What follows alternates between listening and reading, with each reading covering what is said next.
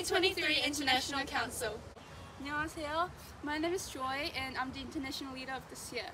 I came to New Zealand in 2017 and this is my seventh year as an international student.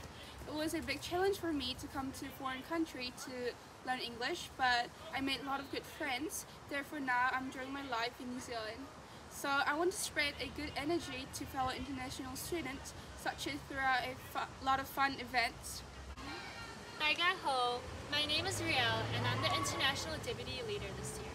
I'm from Hong Kong and I've lived in New Zealand for nine years, so I understand the challenges of adapting to different environments. I'd like to encourage international students to strengthen their love towards learning and to intertwine their gifts and limitations here at Verity. 大家好, my name is Sharon and I am honored to be the International Deputy Leader this year. I've been an international student in New Zealand since 2015 and I've had an incredible time here. So this year, I would love to do my best to provide fellow international students with the same awesome experience.